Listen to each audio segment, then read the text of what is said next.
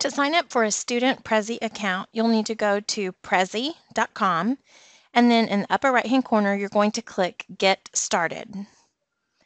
At this point, you're going to see three different options. We're actually not going to use any of those. You need to click on the Educational Plans link that's found on the right-hand side under Students and Teachers.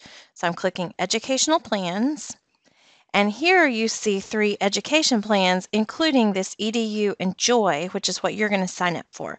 So this is the free plan. You're going to go ahead and select Choose Plan.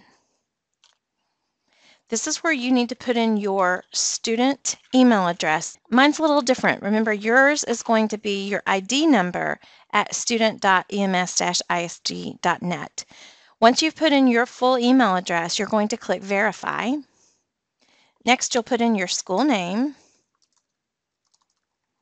put in the city, leave it at United States of America, and then you need to put in the school web address, and it's okay to put the district site, emsisd.com.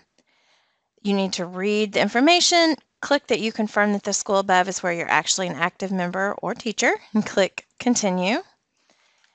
Now, a confirmation email has just been sent to that address, so you need to sign in to your Office 365 account. Remember, you can go to the link on your campus homepage or you can go to portal.office.com, put in your email address and your email password. Go ahead and click Sign In. If you get to this screen, remember you can click on the waffle in the upper left-hand corner and go into your email. And within a minute or so, you're going to get this confirmation email from Prezi.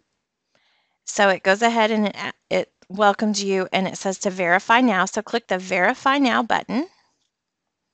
And then go ahead and complete the registration process here by putting in your name, setting up a password, and then selecting whether you are a student or other. Then complete the process by clicking the Create Your Free EDU Enjoy account.